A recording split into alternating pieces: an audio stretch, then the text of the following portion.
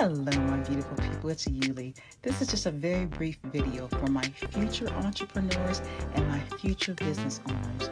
Those individuals that have a thought in their mind about perhaps I can start a small business creating earrings. I have this great way of creating jewelry. You know, I am awesome with sewing. I could make some amazing skirts.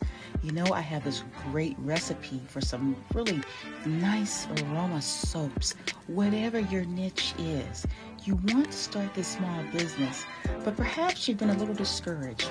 Perhaps individuals have told you, you know, that market is really saturated. Mm, I don't really think you'll be successful in it.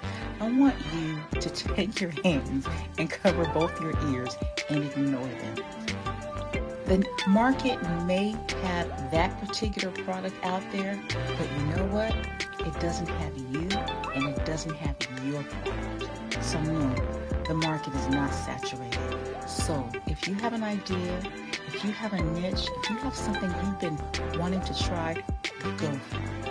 Don't let the naysayers stop you. You do it.